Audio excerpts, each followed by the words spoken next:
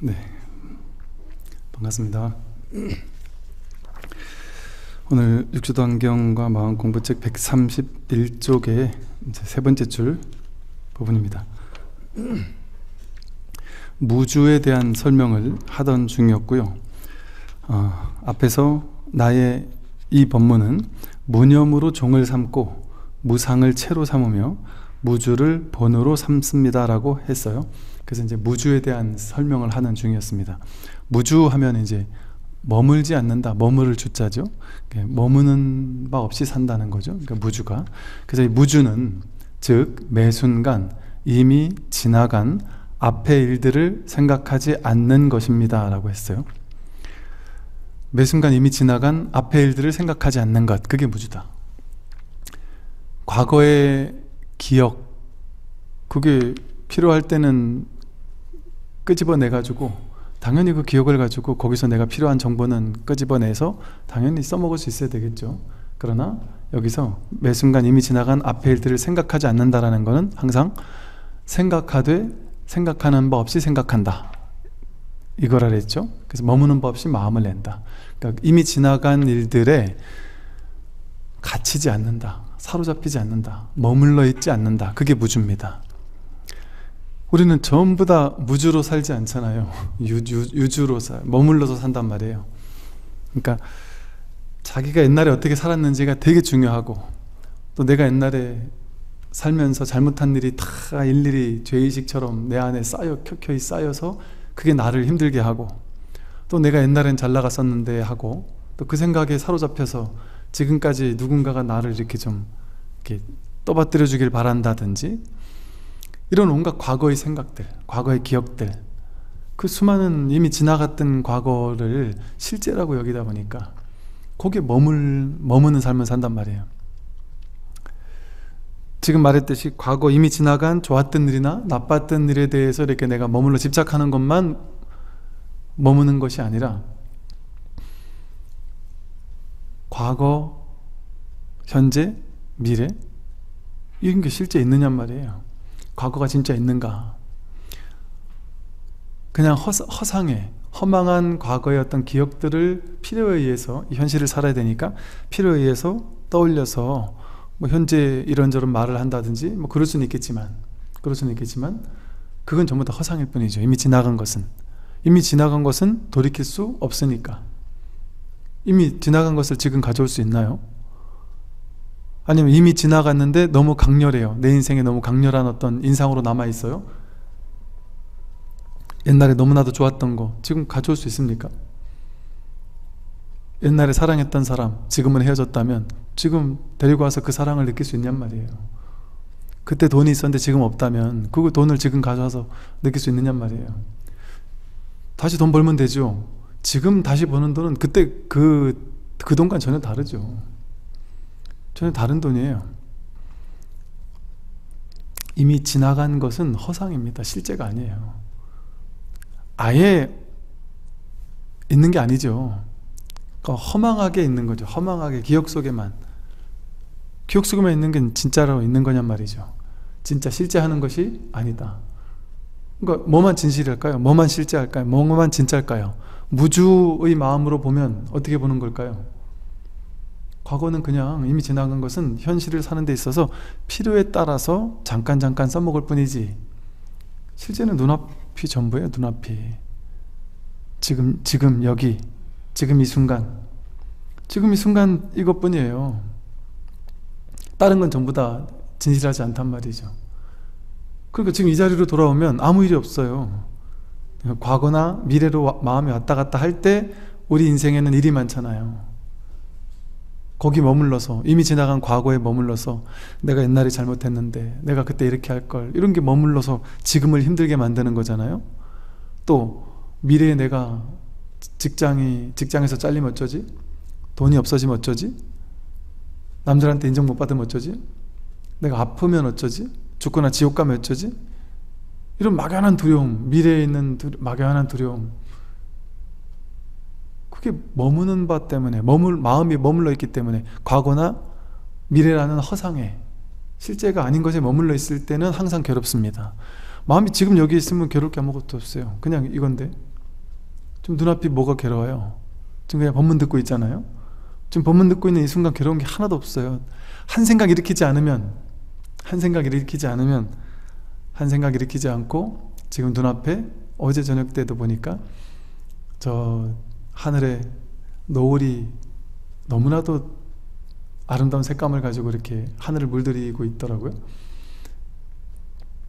그 순간 그냥 아무 생각 없이 그 노을을 바라보고 온전히 직면하면서 그걸 허락하면서 그냥 그냥 보고 있다면 바라보고 있을 때 그때 무슨 일이 있어요?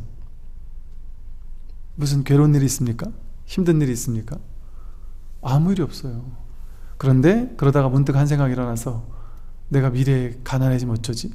회사 잘리면 어쩌지? 그 한 생각을 일으킴과 동시에 갑자기 두려워져요. 생각을 생각을 쫓아가면 그게 그 생각에 머무는 거예요. 그 한 생각 일으킨 생각을 뭐, 뭐, 그 생각에 머무는 거예요. 그, 그 생각에 집착하는 거고 미래에 불안함 어쩌지 하는 생각. 그러니까 대부분 사람들이 이래요. 남들은 다 안정적인 거일 거라고 막연하게 느끼는 거예요. 남들은 모르겠는데 나는 나는 미래가 불안해요. 왜냐면 나는 이 직업 내 나이 몇 살까지 할 수 있을지도 모르겠고 몸도 좀 안 좋아지면 이 직업도 이제 그만둬야 될 텐데 이런 식으로 나는 불안하다 이렇게 생각해요. 근데 우리 막연한 그 뒷이면에 남들은 다들 잘 사는 것 같아요. 남들은 그냥 다 정상적인 것 같아. 다 미래가 보장된 것 같고 나만 지금 미래가 불안한 것 같이 느껴요. 근데 그 미래가 불안하다라는 그 생각을 믿으면 모든 사람이 다 불안합니다. 이재용 삼성 회장은 미래가 불안하지 않을까요? 여러분보다 수십 배, 수백 배 더 불안하겠죠? 더 불안해요. 왜? 여러분은 여러분 내 앞가림만 하면 되잖아요. 이 양반은 자기가 삼성그룹 무너지게 하면 우리나라 경제가 무너지고 그 밑에 있는 수많은 사람들의 인생이 그냥 무너지는 거예요. 얼마나 큰 부담감으로 그 부담감이라는 게 다 생각이거든요. 생각 망상. 그 생각에 머물러 있지 않겠어요? 그럼 그렇게 부자인 사람은 안 불안할 거라고 우리는 생각하잖아요. 우리보다 훨씬 불안한데. 훨씬 불안하죠, 당연히. 부자들이 안 불안할 거라는 거는 착각이에요.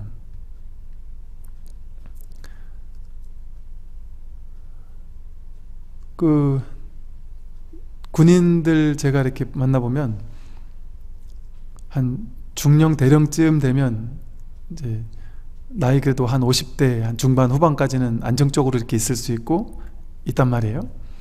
그러니까 인생이 이제 큰 문제가 없는 거예요. 전혀 문제가 없는 삶이죠. 경제적으로 봤을 때 충분히 안정적인 거예요. 근데 그분들과 대화를 나눠보면 안정적이라고 생각하기보다도 오히려 그 더 높은 계급에 올라가 있는 분들도 장군쯤 되신 분들도 불안하다고 느끼시는 분들이 다예요 다 다. 어, 야 이만큼은 정말 많이 올라갔는데 싶어도 그 위에 못 간 것 때문에 엄청 스트레스를 받기도 하고 근데 이렇게 벌어놓은 돈이 충분히 있다고 생각해도 본인은 충분하다고 생각하지 않아요 이건 뭐 이렇게 쓰고 저렇게 쓰다 보면 내가 나중에 힘들어질 텐데요 혹은 몸에 병이 날, 날 수도 있는데요. 온갖 지금 없는 두려움을 이, 이, 이 머리라는 이 생각이라는 분별 망상은 끊임없이 없는 괴로움을 억지로 만들어서 하는 도사예요, 도사. 완전 그 망상 만드는 공장. 이 스마트폰에 뉴스를 검색하다 보면은 모든 뉴스 한 줄 한 줄을 읽을 때마다 거기에 뒷생각이 따라붙어요 20대 30대가 백신을 맞고 죽었다더라 나도 죽으면 어쩌지? 내 자식들 백신 못 맞히게 할까? 80대가 돌아가셨다더라 나도 죽으면 어쩌지? 혹은 코로나로 죽은 사람이 수십만 명 뭐 이렇다더라 내가 또 코로나로 죽으면 어쩌지? 경제가 무너진다더라 야 내가 회사가 망하면 어쩌지? 아니 국가에서 연금을 받는 공무원 분들도 어떤 고, 어떤 고민하는지 아세요? 우리들의 생각에는 공무원들이 연금 받으면 뭐 평생 보장이잖아 진짜 망고 행복하겠다 싶잖아요 그분들 어떤 고민하는지 아세요? 진짜 어이없게도 우리나라가 망하면 어차피 연금 안 나오는 거야. 우리나라가 망해서 연금 못 받으면 어떻게 해? 그러니까 이건 진짜 진짜 힘든 확률이잖아요. 뭐 진짜 세계대전이 일어나기 전에는 진짜 어찌 보면 참 힘든 확률일 수도 있어요 어쩌면. 근데 그 확률에 이 생각은 베팅을 해요. 그래서 본인 스스로 힘들어 해요. 그럼 어쩌지 하는 생각 때문에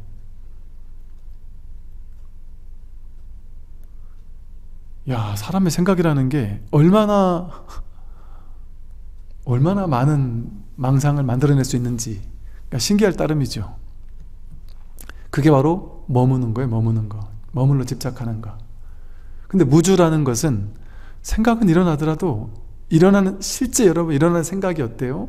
일어나는 생각은 일어났다 사라지죠. 계속 지속되는 생각 있습니까? 일어났다 사라지잖아요 그 생각 그러면 계속되는 생각이 있냔 말이에요. 지속되는 생각. 다 일어났다 사라지는 거예요. 이처럼 생각이라는 것은 흐르는 거예요 흐르는 거. 머물지 않습니다. 흘러갈 뿐이에요. 변화할 뿐입니다. 왔다 갈 뿐이에요. 허망하게 잠깐 왔다 잠깐 가는 거예요. 그러니까 진짜 훌륭한 생각 진짜 맞는 생각 이 생각은 진짜예요. 이런 게 있어요? 그런 생각 없습니다 모든 생각은 전부 다 그냥 왔다 가는 생각일 뿐이에요. 근데 그 생각에 머물면 괴로워지는 거예요. 예를 들어 여러분이 한 생각을 믿으면 어떤 일이 벌어지냐면 갑자기 멀쩡히 잘 살다 말고 갑자기 어디 어디 종교 단체에 갔더니 그 종교 교주 내지는 그쪽에 계신 분이 우리는 죽고 나면 심판을 받아서 지옥에 갈 수 있다. 이 얘기를 들었다면 갑자기 그때부터 심각해질 수도 있어요. 인생이 갑자기. 잘못한 거 다 저장돼 있다가 이게 그대로 심판받는다. 아니 제가 뭐죠 그거 신과 함께 영화를 보니까 어떠 뭐저 좋은 곳으로 가는 게 엄청 힘들더만요. 어지간하면 다 지옥 가더만요. 간다고 그렇게 묘사를 해놨더란 말이죠.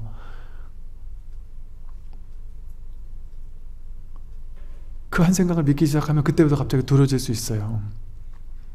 누가 우리 부모님이 돌아가셨는데 누가 천도제 안 해주면 큰일 난다더라. 부모님도 지옥 갈 뿐 아니라 살아있는 사람도 그거는 불효, 불효, 불효 막심한 일이더라. 이 생각 하나를 믿고 나면 갑자기 어때요?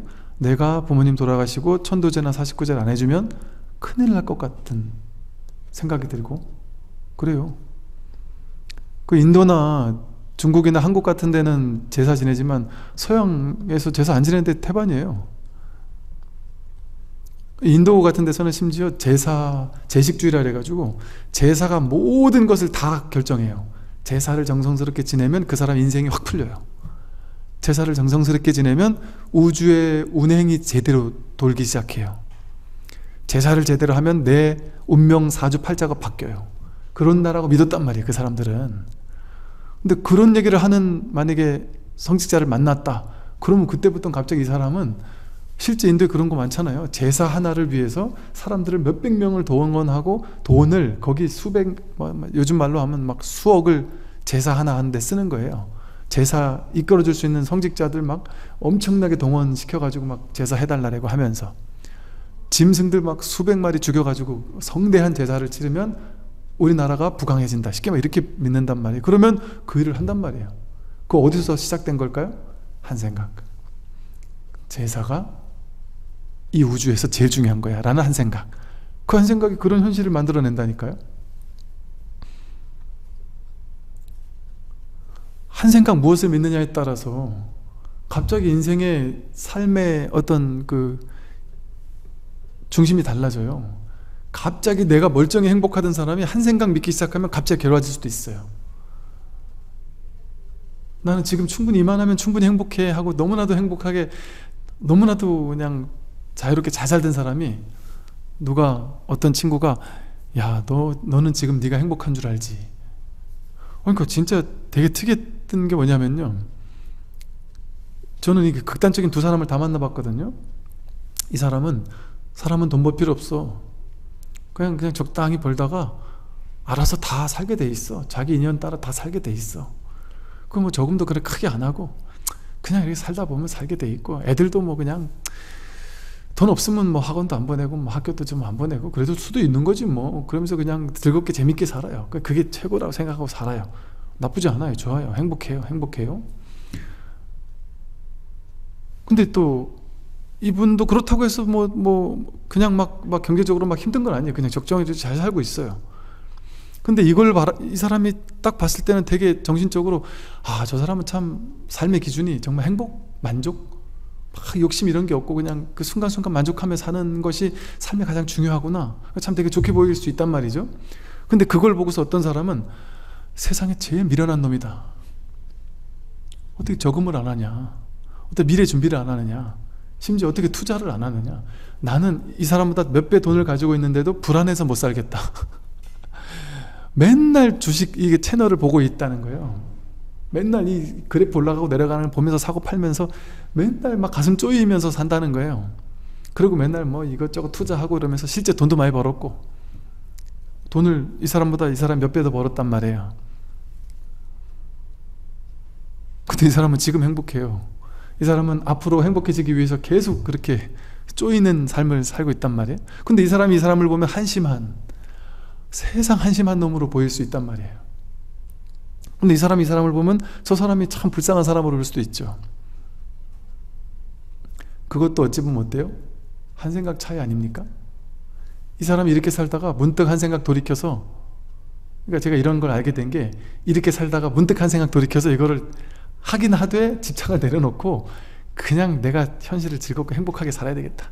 이건 뭐 영 안 하겠다는 건 아니지만 욕심 좀 비우고 막 조금 떨어져도 그냥 냅두고 조금 덜, 덜 올라가도 냅두고 뭐 안 하는 건 아니지만 그래도 내가 마음 공부하면서 정말 편안해졌습니다 하면서 저한테 얘기하던 분이 계셨어요. 그분 얘기 들으니까 참 이 얘기는 진짜 요즘 사람들한테 도움이 많이 되겠다 싶더라고요. 그러니까 이분 말이 그렇다고 해서 내가 돈 안 버는 건 아니래요 오히려 옛날 못지않게 번대요 똑같이. 근데 옛날보다 이렇게 막 조바심 치는 마음이 없어졌대요. 조금 들어올라도 괜찮고 얼르면 좋고 뭐 뭐, 뭐 비싸게 뭘 안 해도 괜찮고. 그 여유 있는 마음을 가지고 돈을 버니까 훨씬 더 잘 벌리더라는 거죠. 한 생각 바뀌니까. 근데 또 거꾸로 이런 사람이 있었어요. 이렇게 살다가 이렇게 정말 행복하게 편하게 잘 살았어요 이러다가 이런 친구를 만나가지고 각성을 했어요. 자기 말로. 각성을 했대요. 그러고 나서 나는 정말 행복한 사람이라고 생각하고 살았는데 갑자기 어느 날 출장을 갔다 오고 나서 친구들을 만나고 오고 나서 아내를 데려다 놓고 맥주를 한 잔 마시면서 아내한테 얘기를 하기 시작했다는 거예요. 내가 지금까지 헛살았다. 우리 집 지금부터 각성해야 된다. 지금부터 어? 우리 여행 가는 거 줄이고 외식 줄이고 허리띠 줄라매야 된다. 그러면서 그때부터 갑자기 이 남편이 갑자기 사람이 결핍된 사람처럼 뭔가 막 이렇게 자유롭지 못하고 뭔가 부족한 사람처럼 항상 조바심 치면서 돈 벌어야 되는데 하면서 조바심 치면서 사는 게 보이더라는 거예요. 그 보살님 보시기에. 그 옛날에 그, 그 자유로운 영혼이 어디 갔나? 그 한 생각을 믿으면 이 사람이 또 금방 그렇게 바뀐다니까요. 그럼 제가 이 생각이 맞냐 저 생각이 맞냐 얘기하려는 게 아니에요. 어떤 걸 해도 괜찮습니다. 사실은요 먹고 사는데 문제 없어요. 돈이 많든 적든.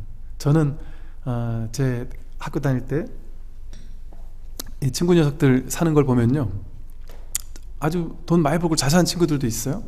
근데 그냥 시골에서 그냥 그냥 고만고만하게 그냥 그러고 사는 친구들도 있어요. 근데 이제 참 안 만난 지도 꽤 됐지만 중간에 한번 이렇게 만나서 이런저런 얘기를 나누다 보니까 예를 들어 그래요.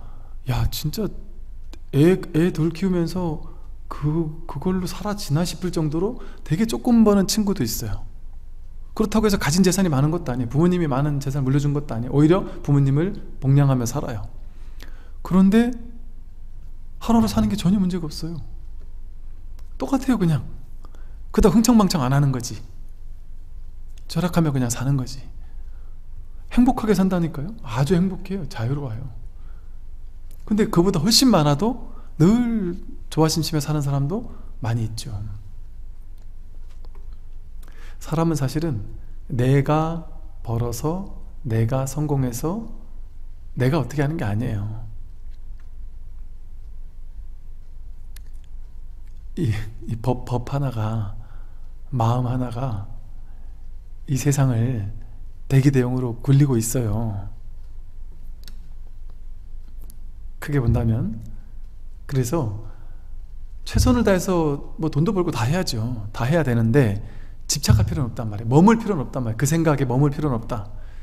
그 생각을 집착하는 게 그 생각에 머무는 거거든요. 어떤 생각도 내 인생을 좌지우지 막 뒤흔들도록 만들 필요는 없다. 무엇이든 인연 따라 사는 거예요 하다못해 저 선호록에 보면 스님들도 그런 얘기 많이 해요. 이 마음 공부를 하고 나니까 하루 이 마음 공부를 하는 도인들은 이런 얘기를 해요. 하룻밤에 뭐 황금 뭐 천냥 천냥을 쓸 써도 문제 없다. 이런 식의 얘기를 한단 말이죠. 이게 무슨 말이냐면 많고 조금이 상관이 없단 말이에요 많고 조금이. 인연 따라 아 이거를 이제 사람들이 숙명론에 빠진 사람으로 오해할까봐 제가 말하기에 좀 조심스러운 면이 있긴 한데 그러니까 이 법이라는 것은 되게 조심스러워요 항상. 왜냐하면 이렇게 얘기할 수 있는 측면이 있지만 그렇게만 딱 얘기를 해버리면 아 이런 거구나 하고 여기 딱 머무를까봐. 이렇게 얘기했다가 이것도 아니라고 쳐줘야 되거든요. 혹은 이렇게 얘기해도 이것이 다는 아니다라고 얘기해 주든지. 그러니까 이제 말이라는 것이 어려운 거예요. 제가 하는 모든 말은 전부 다 진실이 아닙니다. 여러분 그건 알고 들으세요. 제가 제가 뭐 많은 걸 깨달아서 내가 하는 말은 다 진실이라서 남들 말은 다 틀렸고 내 말은 옳은 거라서 제가 이렇게 이 긴긴 시간들을 막 강의를 하고 설하는 거 아니에요. 그렇게 생각하면 여러분들은 제 말에 머무는 거예요 머무른 거. 머물러 집착하는 거예요. 제가 하는 말을 잘 들어보세요 이 세속으로 따지면 너 누구 말처럼 미친놈 같은 소리예요. 이렇다래고 그렇지 않을 수도 있다. 저렇다래고 거기는 머물지 마라. 분별로 답을 내릴 수 있는 얘기가 아니란 말이에요. 제가 한 모든 말에 거기 머물지 말라는 거거든요. 부처님 말씀에 머물지 말라는 거거든요. 머물러 집착하지 말라는 거거든요. 이런 법칙이 있구나 하고 해서 그걸 내가 쥐지 말라는 거거든요 그 머무는 거니까. 그런 어떤 법칙은 없어요. 한쪽에 치우친 사람을 일깨우기 위해서 다른 쪽에 얘기를 하는 거죠. 너무 막 내가 돈을 벌 수 있다는 환상에 젖어서 내가 열심히 안 벌 수 있을 거야 라는 생각으로 자유의지를 가지고 나는 내가 돈을 벌 거야 막 집착하는 사람에게 자유의지 그런 게 있냐?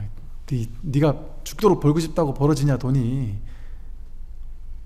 벌어질 것 같으면 힘 빼도 벌 수 있는 사람은 다 번다 기를 쓰고 용을 써도 안 벌리는 사람은 절대 못 번다. 이렇게 얘기한단 말이에요. 막 돈돈돈 하면서 막 그런 사람에게는. 근데 막 그냥 아무 삶을 삶의 에너지도 없고 열정도 없고 이런 사람에게는 뭐 그렇게 살면 되겠느냐? 정신 차려가지고 열심히 돈 벌고 열심히 일해가지고 무엇이든 저질러야지. 성공하고 노력하기 위해서 열심히 일하고 저질러 노력해야 된다. 마음 내면 다 할 수 있다 마음 내서 무엇이든 저질러 봐라. 되고 안 되고는 결과에 내맡기도 해. 최선을 다해서 해라. 이렇게 얘기한단 말이에요. 그 사람의 균형을 맞춰주기 위해서. 그러니까 제가 이렇게도 얘기하고 저렇게도 얘기하잖아요. 그게 상반되는 얘기잖아요. 어떤 사람에게는 이 말이 맞고 어떤 사람에게는 저 말이 맞단 말이에요.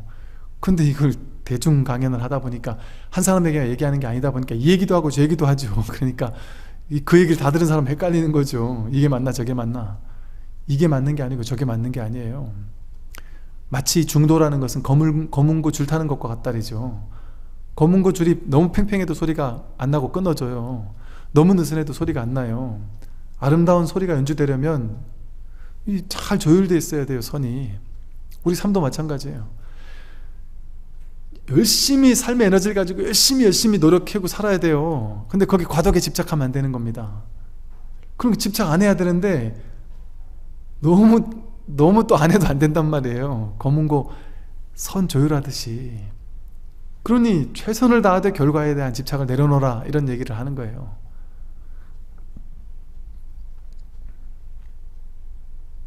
인연 따라 주어진 무엇이든 해도 좋단 말이에요.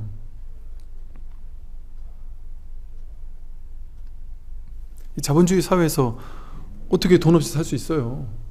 못 살죠 그러니까 내가 할 수 있는 건 최선을 다해서 한다 그러나 결과는 내가 나에게 달린 일이 아닙니다 결과는 진정으로 나에게 달린 일이 아니에요 아니 저 교수님 박사님 이런 분들도 뭐 경제 전문가라고 경제 어떻게 돌아갈지 100% 맞춥니까? 뭐 무슨 주식 전문가는 주식을 가지고 돈을 엄청나게 벌까요? 꼭 그렇지 않다 그래요 뭐 부동산 전문가는 뭐 부동산을 맨날 맞출까요? 그렇지 않다 그래요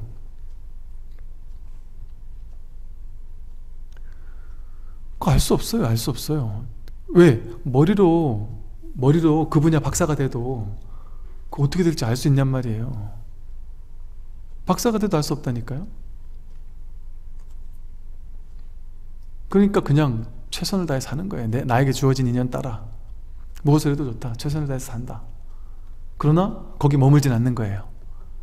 머물 수도 없고 그러니까 결국 머무를 때는 뭐에 머물러요? 자기 한 생각에 머무는 거거든요. 자기 한 생각에 머물게 되면 그게 사람을 힘들게 해요. 자식을 어릴 때부터 공부시키지 않으면 나중에 가서 무슨 수포자가 된대 수학 포기한 사람이 된대 그러니까 초등학교 때부터 수학을 가르치지 않으면 큰일 난대. 그래가지고 얘는 준비도 안 됐는데.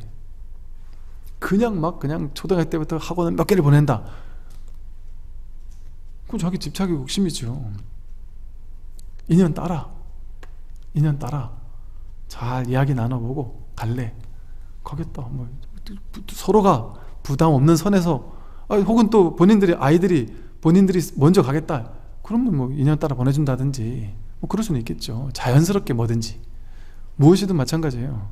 자연스럽게 되게 돼 있건 무엇이든 될 거는 자연스럽게 이상하게 풀리게 돼 있어요 그리고 또 저도 그러던데요. 뭔가 이렇게 뭔가가 이렇게 되려면 갑자기 뭔가 이렇게 가슴에서 이렇게 치는 뭔가 이게 직관 같은 뭔가?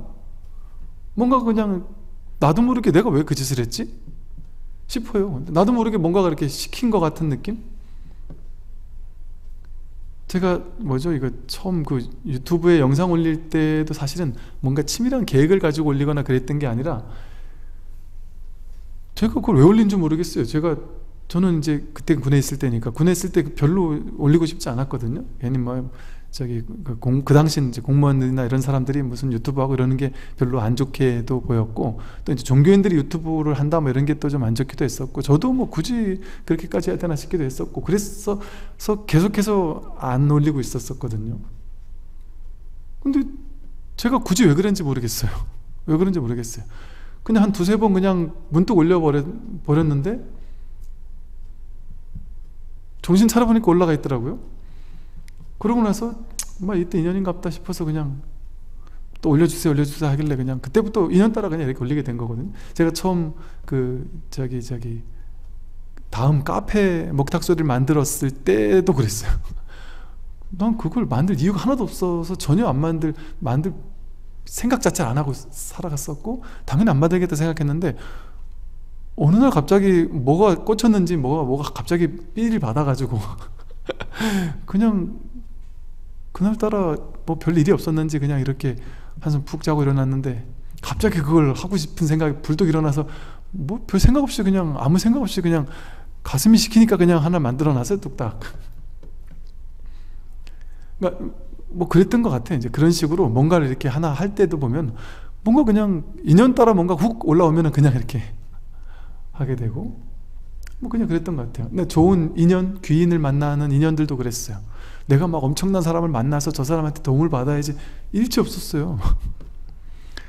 그냥 어떤 분, 아 저분한테 가면 그런 건 조언해 줄 수 있고 되게 좋으신 분이라 조언 받을 수 있을 것 같다고 누가 추, 추천을 해줘서 그래요. 그러면 한번 뭐 만나 뵈면 좋겠네요. 그래서 만나게 해주겠다 그러시죠. 뭐 가서 그냥 차나 한 잔 같이 하시죠. 그래서 그, 그 스님 만나가지고 이렇게 스님하고 차 한 잔 그냥 가볍게 나눴어요. 근데 이게 이게 너무 잘 되는 스님을 만난 거죠. 그래가지고 제가 큰 도움을 받았죠. 그 스님에게 큰 도움을 받기도 하고.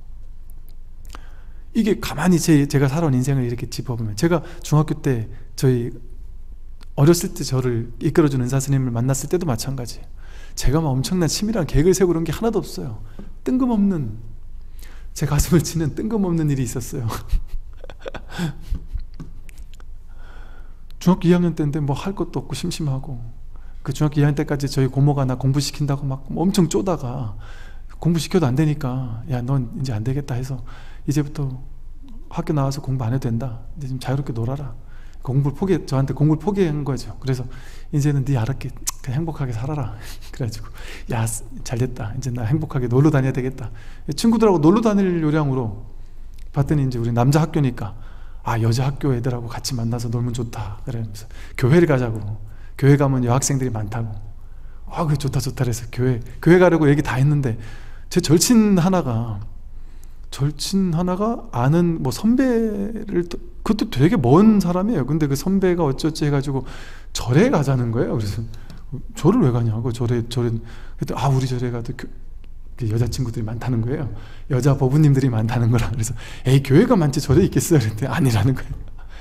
아, 우스개로 그러다가 그냥 그 친구랑 좀 친하고 뭐 이러다 보니까 그냥 이유 우연으로 가게 됐다니까요 그 절에 갈 마음도 없었어요 저 종교에 관심도 없는 사람이었어요 중학교 때 아무 생각 없이 그냥 교회 갈라 했다가 절에 갔어요 그랬다가 거기서 제 인생을 뒤바꿀 만한 귀인을 그, 그 은사스님을 만날 줄이야 이 세상 그 누가 어떻게 상상할 수 있었겠어요 그 어린 나이에 그 어린 중학생이 그런 걸 뭘 알았겠어요? 뭘, 뭘 어떻게 알았겠습니까? 그 제가 한 거겠어요? 인연은 그렇게 저절로 오는 거예요 자연스럽게. 내 쪽에서 애써서 되는 게 아니에요. 그 깨달음도 그렇다고 하죠. 내가 깨달음 향해 갈 수 없다 이러죠. 내가 나서서 깨달았겠다? 그게 그, 그렇게 되는 게 아니에요. 굳이 방편으로 표현할 때 이런 표현을 해요 오히려.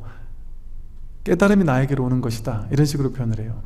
사실은 이미 와 있는 것이지만.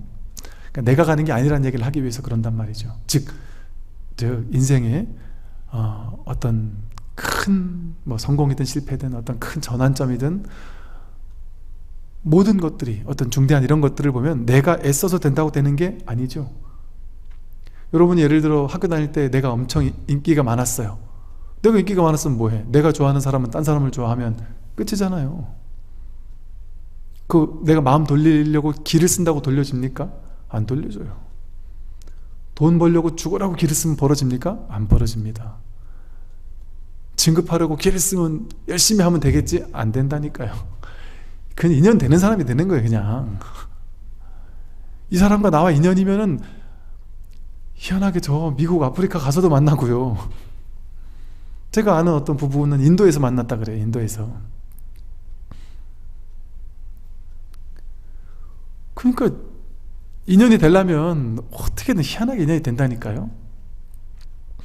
내가 정말 가기 싫었던 친구들 모임 친구들이 너무 잘난 척하는 거 꼴보기 싫어서 나는 잘 나가지 못하기 때문에 부끄러워서 친구들 모임에 한 번도 안 나가다가 하도 친구가 같이 가자 해가지고 아이씨 꼴보기 싫은 친구들 보기 싫어서 안 갈라 했다가 딱 한 번 나갔다가 거기서 그 절친한 친구하고 인연이 돼 가지고 그 일을 배우게 되고 그 친구랑 일을 같이 하게 되고 일을 배우게 되고 그래서 뭐, 뭐 대박이 났다 이런 친구도 제가 얘기 들은 적 있어요.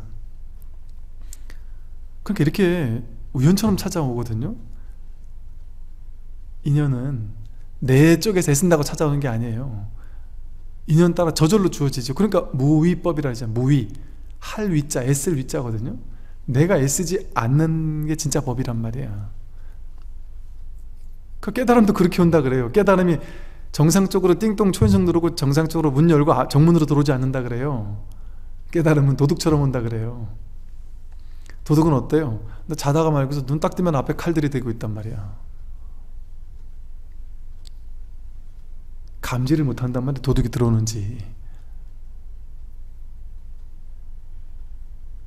인생이 그와도 같아요. 그래서 우리는 내가 내가 한다고 생각하고 내가 뭐 이렇게 잘 나가지고 회사에서 이렇게 잘 나간 것 같지만 아닙니다.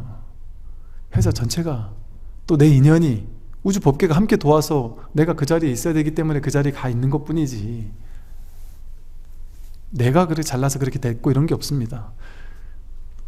그러니까 어디도 머물 필요가 없는 거예요. 그냥 탁 내려놓고 살면 된단 말이에요. 그 방아착하는 삶이죠. 놓을 방자 아래 하자 집착할 때 착자 집착을 내려놓고 산단 말이에요 그냥 물 흐르듯이 삶을 허용하면서 그냥 사는 거예요 그럼 뭐 스트레스 받을 게 있습니까? 괴로울 게 있습니까? 머무는 게 없는데? 그럼 머무는 게 없, 어떤 생각에도 머무는 게 없잖아요? 그러면 정말 속편해요 그리고 법계를 믿으면 이, 이 세계를 믿으면 진리를 믿으면 왜? 내 삶이 그대로 법계거든요 삶이 그대로 제법이 실상이에요 생각은 그러니까 쉽게 말해 제가 어릴 때 이제 제 고등학교 대학교 때 대학교 때 이제 불교 공부에 완전 꽂혀서 공부를 하면서 딱 불교 공부하니까 아 너무 좋은 거예요 왜 좋았던지 아세요? 제가 대학 다닐 때 고등학교 때 제일 많이 고, 민했던 게 그거예요 내가 대학교는 어딜 가야 되지? 이 학원을 가야 되나 말아야 되나? 이럴 때 난 어떤 선택을 해야 되나? 야 부처님이 계신다면 이런 선택을 대신 내려줄 수 있을 텐데 뭐 이런 어떤 생각을 선택해야 되지? 이게 되게 고민 많았거든요. 근데 저는 대학교 이후로부터는 그런 고민을 별로 안 하고 산 것 같아요. 그냥 그냥 물, 인연 따라 흐르듯이 그냥. 왜 그러냐면요. 그 전에는 내가 어떻게 해야 좋은 걸 선택할까? 그 고민을 했거든요. 근데 근데 공부를 해보니까 아 내가 선택하는 게 아니구나. 내가 선택한다. 내가 생각으로 선택한 것조차 내가 선택한 게 아니구나 내가 생각으로 선택한 것조차 내가 선택한 게 아니에요. 인연 따라 때가 되면 그 아이디어가 탁 떠오른다니까요. 저절로 이루어져요. 그렇다고 해서 내가 아무것도 하지 않아서는 안 돼요. 나는 그냥 매 순간 최선만 다하는 거예요. 매 순간 최선은 다해요. 근데 인연은 법계가 알아서 가져다 주는 거예요 그러니까 내가 이걸 최선을 다했는데 옛날엔 최선을 다했는데 엄청난 에너지를 투여하면서 최선을 다했는데 안 되면 상처받잖아요. 근데 이제는 미친 듯이 100% 최선 다하지 않아요. 그러니까 이게 무슨 100% 아, 최선 다하지 않는단 말보다 과도하게 집착하면서 이거 아니면 절대 안 돼 하는 마음으로 막 올인하지 않아요. 올인하지 않아요. 쉽게 말해 투자하는 사람들도 그렇잖아요. 이거 돈 된다고 하면은 막 여기저기 막 그냥 끌어다가 막 투자하잖아요. 이런 짓 안 한단 말이에요 과도한 욕심 없으니까. 돼도 좋고 안 돼도 좋으니까. 그러니까 내가 할 수 있는 만큼 최선만 다하는 거예요 그냥. 그러니까 안 돼도 미련이 없어요. 그러니까 언제나 매 순간 최선은 다해요. 근데 되면 좋고 안 되면 좋은 거 배웠다. 끝툭 털어버려요 그냥. 가볍게. 아 그러니까 쉽게 말해 이런 방편이죠. 야 이거 딱 실패했어요. 열심히 했는데 실패했어요. 아, 좋은 경험 했다 야 부처님께서 이 길이 내 길이 아니라서 그러나 이 길에서 내가 뭔가 배워놓은 게 있으면 나중에 더 큰 길을 갈 때 거기 도움될 수 있으니까 나한테 이 길을 잠깐 가다 말도록 해줬나 보다. 오케이 감사합니다. 여기서 그딱 무너지면 오케이 한단 말이에요. 왜 오케이 할까요? 아, 이 길이 내 길이 아니겠지. 왜? 내 현실이 지금 여기서 무너졌으니까 그 현실이 당연한 거예요. 현실이 진실이니까 아 현실이 내가 이거 하다가 안 됐다 무너졌다 오케이. 무너지는 게 진실이거든요. 그러면 또 다른 길이 있는 거예요. 그럼 내 길이 또 다른 길이었나 보죠. 그러니까 그 믿음이 있단 말이에요 믿음. 근원에 대한 믿음. 본질에 대한 믿음 본성에 대한 믿음. 여러분의 근원이 우주 법계의 근원과 다르지 않다니까 이 세상의 근원과 다르지 않다니까요. 세상 세상을 움직이는 근원 그것과 여러분을 움직이는 근원이 둘이 아니라고요. 대기 대용이라 그러잖아요. 대기 이 온 우주는 거대한 하나의 기관이에요. 대기 큰 하나의 기관을 대용 큰 하나의 법 하나가 마음 하나가 전체를 굴려 쓰고 있어요. 그 이걸 모르니까 사람들은 내가 실패하면 내가 했다고 생각하는 거예요. 그러니까 내가 실패했다 생각하는 거예요. 근데 대기 대용의 관점에서 있으면 어때요? 실패가 없어요 여기서 배우고 저기서 배우고. 이게 안 되면 이 길이 내 길이 아닌갑다. 딴 길이 있겠지. 그 길을 난 지금 몰라 모르면 오케이. 모르면 지금은 몰라야 될 때겠지. 모르면 돼요 그냥. 모른 채 내가 할 수 있는 최선만 다하면 돼요. 그게 진짜 도움 되는지 안 되는지 몰라요. 직장 다니면서 여선에 잘릴 수 있어. 그러면 다음을 위한 직장을 좀 준비를 해볼까? 마음 나면 하라는 거죠. 마음나 하라는 거예요. 그런데 내가 A라는 이 회사 잘리면 B라는 회사에 들어가기 위해서 준비를 쫙 했어요. 근데 B 회사 못 들어갈 수도 있어요. 그건 그러니까 B 준비를 안 해야 되느냐? 아니다. 준비하고 싶으면 최선을 다해서 한다. 근데 B 회사 들어가지 못하고 C 회사를 들어갔어요. 근데 괜히 공부했네. 괜히 공부한 게 아니라니까요. 그 공부한 거 가지고 C 회사를 들어갔더니 이 C 회사는 B 회사에서 배운 게 전혀 이, 이때 공부한 게 전혀 필요 없는 회사였는데 들어가고 보니까 회사는 그런 마인드가 아무도 없는 거라. 내가 들어가서 이거 이렇게 이렇게도 해볼 수 있을 것 같은데요?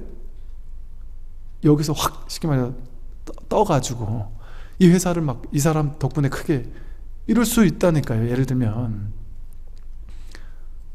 그러니까 결과는 내일이 아니야 하고 맡겨놓고 내가 지금 할 수 있는 최선만 다하면 그게 완전한 일이에요.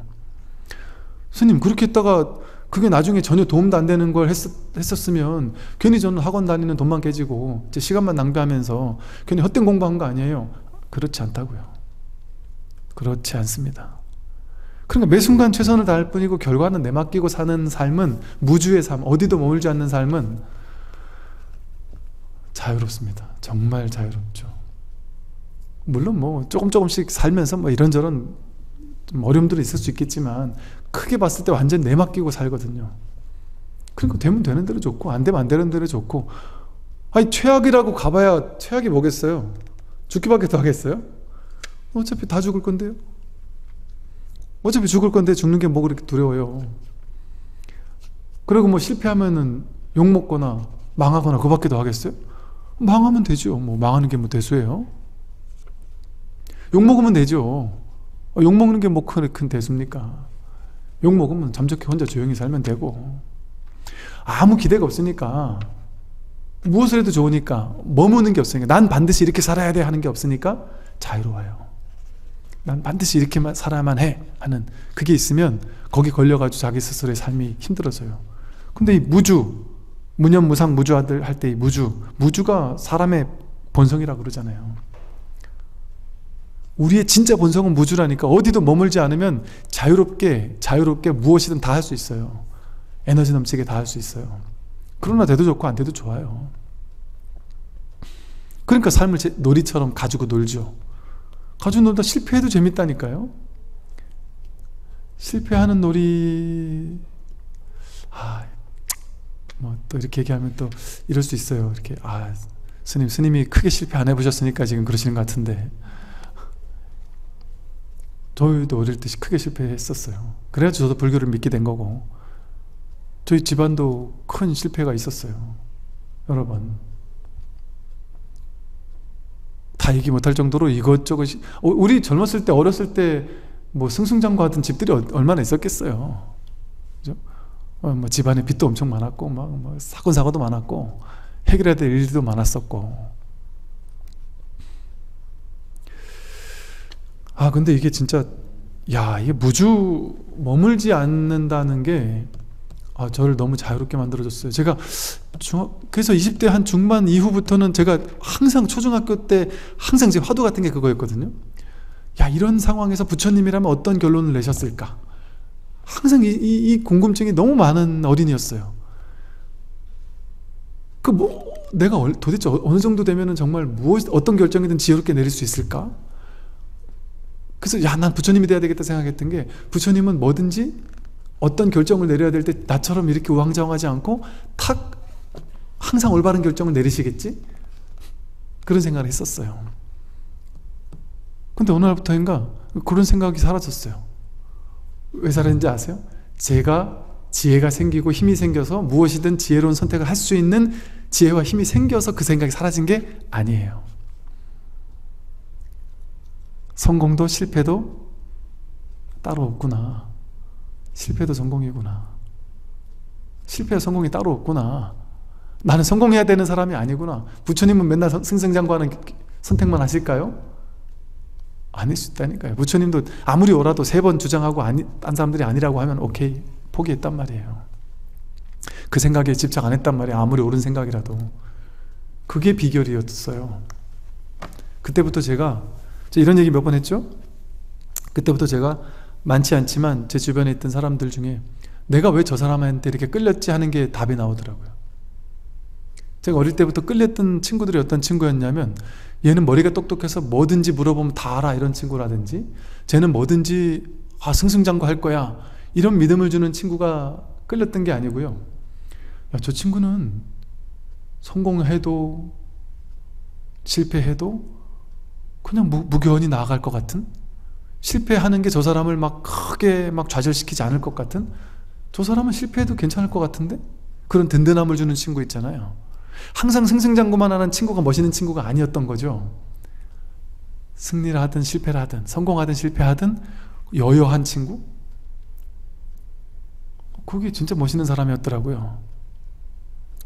그리고 제가 서, 성공도 하고 실패도 하고 도전도 하고 무너지기도 하고 욕도 먹고 칭찬도 받고 그러면서 인생을 이래저래 살아보니까 살아보니까 어 그게 인생이더라고요. 반드시 성공만 하고 살아야 된다? 그 생각만 없으면 삶이 자유로워져요. 그럴 수가 없으니까 삶은 그럴 수가 없습니다. 또 내가 보는 견해에선 성공인데 딴 사람 보기에선 실패거든요. 어떻게 그 모든 조건을 다 맞춰요? 그리고 또 지금 단편적인 지금 눈으로 봤을 땐 실패인데 크게 봤을 땐 또 성공일 수도 있어요. 그 어떻게 성공 실패를 알 수가 있어요? 그러니까 성공이든 실패든 판단하지 않 무분별 분별하지 않고 그냥 삶에 내맡기는 거예요. 그러니까 실패가 없어요. 인생에 실패가 없습니다. 실패가 있는데도 실패가 없어요. 그게 진짜 멋있는 거예요. 그게 무주예요, 무주. 머무는 법 없이 마음을 내는 것. 분명히 내 인생에 실패가 계속 있어요. 근데도 실패 없는 거예요. 실패가 있지만. 그 실패에 걸려 넘어지지 않으니까. 걸려 넘어져도 금방 툭툭 털고 일어나니까 왜? 내 생각이 거기 사로잡혀서 이거 아니면 절대 안 되라는 생각이 없으니까 만약 앞생각과 지금의 생각과 뒷생각이 이어져 끊임없이 계속된다면 이것을 일러 얽매임이라고 합니다 앞생각, 이미 지나간 생각, 또 지금 생각, 그리고 뒷생각 뒤에 이어질 생각, 미래에 있을 생각 그 생각들이 계속 이어져서 끊임없이 계속되면 우리가 그러고 살잖아요 어제, 오늘, 내일 앞, 지금, 뒤 온갖 생각, 생각들이 끊임없이 끊임없이 이어지면서 나를 지배하잖아요. 나를, 나를 집어삼키고 있잖아요. 그게 바로 이를, 이것을 일러 얽매임이라고 한다. 개박된다 그래요. 자기 생각이 얽매이는 거예요. 이 세상에 그 누가 나를 얽매이게 만들 수 있다고요? 없습니다. 자기가 얽, 자기를 개박할 수 있어요. 자기가 자기를 얽어맬 수 있는 거예요. 자기 생각이 자기를 얽어매는 거지 이 세상은 나를 얽어매지 않습니다. 심지어 남들이 내 손을 꽁꽁 묶어놓은 그 순간에도 내가 자유로우면 얼, 얼, 얽어매진 게 아니에요. 감옥에 갇혀 있어도 감옥에 갇힌 게 아니라니까요. 옛날 서, 서, 선사 스님들 독립운동 하다가 감옥에 들어가잖아요. 그럼 감옥이 국립 선방이라고 너무 좋아하셨다 그래요. 왜? 옛날 서, 절의 스님들이 가난하고 먹을 것도 없고 맨날 탁발 나가도 요거도 먹고 그러고 살다가 아, 감옥에 가니까 밥을 주더라는 거예요 탁발 안 해도 그리고 가만히 앉아있을 수 있게 해주더라는 거예요 앉아서 참선하기 좋고 때 되면 밥 주고 그 스님을 감옥도 가둘 수 없는 거예요. 그 스님의 정신이 자유로운 사람은 감옥에 들어가 있어도 자유로워요. 그러나 마음이 이렇게 자기 생각에 속박되어 있는 사람은요 돈이 어마어마하게 많고 자기 땅이 어마어마하게 많고 나를 속박하는 사람이 아무도 없어도 그 넓은 집에서 모든 사람이 나를 막 떠받드는 상황 속에서 자기 생각이 노예가 돼가지고 괴로워해 벌벌 떨고. 나 죽으면 어쩌지? 나 미래가 어떻게 되면 어쩌지? 지옥 가면 어쩌지 이 돈이 사라지면 어쩌지 자기 생각이 속박돼가지고 괴로운 삶을 사는 거예요 그러니까 자기가 자기를 얽어매는 거예요 그러니까 이 앞생각, 지금 생각, 뒷생각이 이어져서 끊임없이 계속될 때 이것이 바로 얽매임이다. 모든 법 위에서 순간순간 머물지 않는다면 얽매임은 없습니다. 모든 법이라는 것은 뭐 존재, 그러니까 진리라는 뜻도 있고 존재라는 뜻도 있다고 했죠. 일체 모든 것들, 모든 존재, 모든 것들 위해서 어디에도, 어떤 경계에도, 어떤 것에도 머물지 않는다면 이 소리예요. 어디에도 머물지 않는다면 얽매임은 없습니다. 신문 기사 읽고 나자마자 그 기사 한 줄 가지고 갑자기 나한테도 문제가 생기면 어쩌지? 온갖 생각으로 얽매임을 스스로 당하잖아요. 이게 이게 법 위에서 머무는 거거든요. 대상 경계 위에서 머무는 거예요. 어디도 머물지 않는다면 어디도 순간순간 머물지 않는다면 얽매임은 없습니다. 이런 까닭에 무주를 근본으로 삼습니다. 무주가 인간의 본성이고 근본이에요. 머물지만 않으면 우리는 자유롭습니다. 지금 여기서 곧장 얽매임에서 벗어납니다. 모든 얽매임에서 벗어납니다.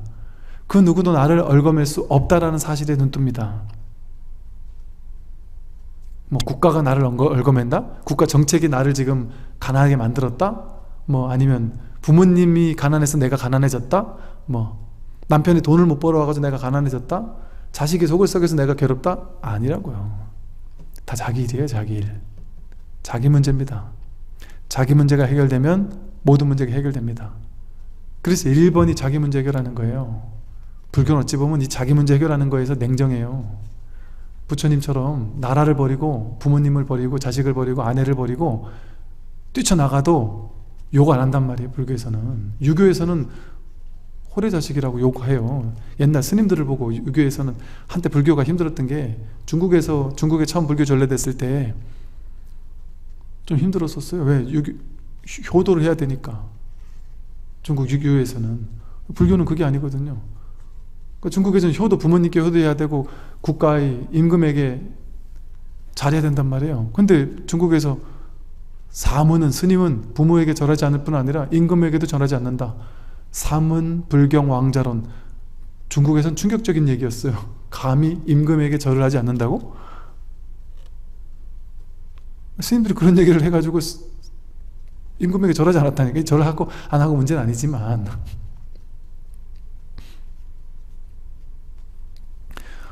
어디에도 머무르지 않는 거예요. 어디도 걸리고 머무르지 않는다. 그러면 자유가 있습니다. 선제식들이요. 밖으로 밖으로 일체의 상에서 벗어나는 것을 이름하여 무상이라고 합니다. 이제 무주는 이제 그렇고요. 무상은 뭐냐? 상 이게 모양 상자 서로 상자인데 이걸 모양 상자고 불러요. 그래서 이 상이 뭐냐면 밖으로 일체의 상에서 벗어나는 것을 무상이라고 하는데 이 모양을 보면 우리는 컵이라고 알죠. 그죠? 이 모양을 보고 컵, 이 모양을 보고 마이크, 이 모양을 보고 시계. 이렇게 모양을 보고 여러분 이름을, 여러분 이 모양의 여러분 육체에 이 이름을 매칭시켜서 우리는 기억하죠. 그죠? 그거를 이제 표상작용이라 그래요. 상이라 그래, 상. 그래서 제가 지난번 계속 얘기했듯이 우리는 세상을 실제 있는 그대로의 세상을 보는 게 아니라 자기식대로 자기에게만 있는 독특한 상을 가지고 삶에서 만들어진 독특한 상을 가지고 세상을 걸러서 바라본다. 그랬습니다. 그러니까 제가 이런 얘기를 많이 했죠. 내가 내 남편을 만나도 실제 남편을 만나는 게 아니라 남편에 대한 나의 이미지 나의 상. 남편과 지금까지 살아오면서 강렬했던 어떤 장면 장면들을 사진 찍어 가지고 내가 실망 남편에게 실망했던 사진 장면 탁 찍어가지고 딱 받. 이제 어떤 보살님들은 그러세요. 남편이 지금까지 40년을 살았는데 40년 사는 동안 가장 충격적이었고 내가 남편에게 실망했던 그 한마디가 있, 더만요 해서는 안될 한마디를 너무 화나서 싸우다 보니까 한마디 했는 건지 모르겠는데 그 한마디가 강렬한 상으로 작용해요. 강렬한 상이 돼가지고 물론 되짚어 보니까 좋은 얘기하고 따뜻하고 좋았던 점도 많이 있었어요. 근데 그 상들은 이미지가 좀 약했어요. 근데 강력한 상 하나가 나쁜 충격적인 말을 들었던 거 하나가 여기 딱 박혀져 가지고 이 나쁜 놈이라는 생각이 더 강렬하게 나, 나를 지배하는 그런 분도 있더란 말이죠. 한 번인데도 그게 너무 강력하게 나에게 상으로 딱 박혀 있으면 그게 가장 큰 영향을 미쳐요. 그러니까 트라우마도 마찬가지잖아요. 인생에서 어떤 상처받은 것 중에 가장 크게 상처받았던 것이 딱 사, 트라우마가 돼가지고 전쟁 나갔다 온 사람들 전쟁 공포증 같은 게 막 대산하고 여기 안에 칵 눌려 있거든요. 그런 식으로 강렬하거나 옅거나 다양한 상을 찍어서 우리는 매 순간 뭘 하냐면 우리 마음은 반야심경에서 말하는 우리는 우리 몸은 색수상행식으로 이루어져 있다잖아요. 그 중에 상온이라는 게 뭐냐 면이 상을 얘기하는데요. 표상작용을 얘기하는데 우리 마음에 어떤 기능이 있느냐 면 세상 모든 것들을 보자마자 딱 사진 찍어서 여기 딱 저장하는 기능이 있어요 마음의 기능 그 제가 여러분들을 이렇게 뵈도 보니까 뭐 몇 명 나오지도 않으시는데 거의 그래도 비슷한 분들이 계속 노하우가 있는지 계속 당첨이 되셔서 자주 이렇게 얼굴 많이 뵙는 분도 계시고 뭐 예를 들어 보살님 같으면 원강사에서도 그렇고 육사에서도 오셨었나요? 육사에서도 워낙 앞에서 늘 앞에서 대화 나눈 적은 없, 없, 별로 없었던 것 같지만 늘 그 자리에 늘 앉아 계시니까 이렇게 사진 찍혀서 이렇게 늘 이렇게 앉아서 가까이 앉아서 보고 계시는 그 모양이 이렇게 찍히듯이 우리는 여행지에 가서도 그 여행지에 대한 이미지 상으로 그 여행지를 기억해요 그러니까 두 번째 가보면 그 여행지가 어? 첫 번째 왔을 때 너무 좋았는데 왜 지금은 별로지? 좀 이상해요 첫 번째 그, 그 첫, 난생 처음 만나는 또 내가 내 기분에 따라서 정말 내가 마음이 열려있고 행복한 기분으로 그곳을 가면 그곳이 너무 아름답게 느껴져요 근데 그 다음에 막, 막 시련의 상처를 받고 괴롭고 너무 힘들어서 그 자리 다시 한번 너무 좋았길래 그 자리 다시 가면 그 아름다운 풍경이 우울하게 느껴져요. 그 아주 막 광활하고 아름답던 히말라야가 아주 황량하게 느껴지기도 하고 그럴 수도 있단 말이죠. 왜? 있는 그대로를 경험하는 게 아니기 때문에 자기 마음 상태에 따라서 자기 마음의 어떤 필터를 가지고 세상 모든 것들을 사진 찍어가지고 기억하기 때문에 그래요. 그러니까 실제 우리는 상을 빼고 무상 이 무상이 그거예요 상을 빼고 있는 그대로의 실상을 경험하지 않는단 말이에요. 상이 없이 진짜를 직면하는 걸 실상이라 그래요. 제법 실상이라는 말은 제법은 일체 모든 것들은 사실은 실상으로 드러나 있다는 거죠. 근데 우리는 자기만의 허상을 가지고 허망한 상으로 사진 찍어서 상으로 기억하는 그걸 허상이라 그래요. 그러니까 여기서 밖으로 밖으로 우리는 세상 모든 것들을 볼 때 상에서 벗어나지 못한단 말이에요 그러니까 밖으로 일체의 상에서 벗어나는 것을 이름하여 무상이라고 합니다. 사진 찍어서 기억하게 되면 그걸 실제라고 여겨요. 여러분도 그렇잖아요. 여러분 남편에게나 여러분 구원님에게나 원망스러울 때가 있어요. 나는 분명히 바뀌었는데 나는 마음 공부를 해서 불교 공부를 하고 마음 공부를 해서 나는 바뀌었어. 그래서 나는 이제 이제부터는 난 잘하려고. 정말 이제 남편한테 잘하려고 집에 가서 막 이렇게 잘하기도 하고 따뜻한 말도 하고 그러면 그 사람들은 뭐라 그래요? 미쳤나? 뭘 잘못 먹었나? 이런다든지 평소에 안 하는 짓을 하니까 그럴 때 서운하단 말이에요 아씨 내가 좀 잘해줄라 해서 저러네 하면서 그럴 수도 있단 말이죠 그런 것처럼 세상 모든 사람들은 저마다 자기의 허상을 가지고 그걸 실제라고 착각하면서 내가 사진 찍어 놓은 건데 이미지로 상 찍어 놓은 건데 그걸 실제라고 생각하면서 세상을 살아요. 과거 전부 다 상이에요. 실제가 아니라 실상이 아니라 허상이에요 과거. 과거에 사진 찍어 놓은 기억이잖아요 그게 다. 기억이라는 게 상의 모음을 기억이라 그래요. 그러니까 기억은 다 허망한 거예요. 과거도 허망한 거고. 미래에 대한 이미지 이거 다 상이잖아요. 다 허망한 거예요. 그게 있는 동안은 실상을 만날 수가 없습니다. 진실을 만날 수가 없습니다. 상에서 벗어날 수 있다면 법의 본체는 청정합니다. 상에서 벗어날 수 있으면 상이라는 필터를 가지고 걸러서 세상을 왜곡해서 바라보지 않으면 상이라는 필터로 이렇게 켜켜이 쌓이는 수없이 많은 상으로 왜곡하고 걸러서 보는 걸 상을 통해서 보는 거니까 굽, 굽게 본다 그래요. 굽어서 본다 이러고요 곧바로 본다. 이거를 불교에서는 곧장 이런 얘기 있어요. 곧장. 도노 내지는 뭐 돈발 뭐 곧장 바라본다 이런 얘기 곧장이란 말을 써요. 그 곧장이라는 말은 일행삼매 뭐 이런 말은 곧장 본다는 말은 굽지 않고 직심이라 그래요 직심. 직심이라는 건 굽, 굽지 않은 직바로 그 마음 이거거든요 직바로 그 마음이 뭐예요? 직바로 그것 이거예요. 직바로 이거. 곧바로 이거. 여기서 지금 여기 이걸 들자마자 스님이 오른손으로 컵을 하얀색 투명한 유리컵을 들고 있네. 이거 다 상이죠. 스님 상이죠. 컵 상이죠. 유리 상이죠. 물 상이죠. 저 앞에 상이죠. 다 상이잖아요. 그 상 다 빼고. 그 상을 다 빼고 나면 여기 뭐 있을까요? 상을 다 빼고 났는데 이게 없습니까? 유리 때리는 소리라는 것 상이죠. 그 상 빼고. 저 앞에서 스님이 소리를 내고 있네라는 상 빼고 다 빼고. 이거 뭘까요? 상을 다 빼면. 모양을 다 빼면. 모양을 다 뺐는데 여기 아무것도 없진 않죠? 이게 이렇게 있잖아요 이렇게 있죠 그죠? 상을 다 빼도 있어요. 아무것도 없는 게 아니에요. 이렇게 살아있는 게 있어요. 확인되는 게 있단 말이에요. 알아차려지는 게 있단 말이에요. 여기서 상을 빼면 이게 법이에요 이게. 이게 마음이에요 마음. 이게 실상이에요 실상. 허상을 빼면 곧장 실상은 본래 갖추어져 있어요. 본유 금유. 본래 있던 게 실상이에요. 실상은 본래 있어요 이렇게 본래 있는데 우리는 이것을 허상으로 상으로 계속 얼검에서 바라봤으니까 해석해서 바라봤으니까 실상을 제대로 보지 못했다. 여기서 딱 그 얘기가 나오죠. 상에서 벗어날 수 있다면 법의 본체는 청정합니다. 이게 본체예요. 이게 법이고. 상에서 벗어날 수만 있으면 늘 청정해요. 때가 없어요. 오염이 없어요 어떤 사람을 보고 어떤 대상을 보고 좋다 싫다 이게 오염이거든요. 좋다는 것도 오염이고 싫다는 것도 오염이에요. 이게 좋거나 싫은 게 있어요? 근데 어떤 사람이 예를 들어 나는 유리컵에 대한 엄청 안 좋은 기억이 있어. 유리컵에 뭐 어디 찔려서 엄청난 트라우마가 있어 하면 이렇게 이거 싫어하겠죠?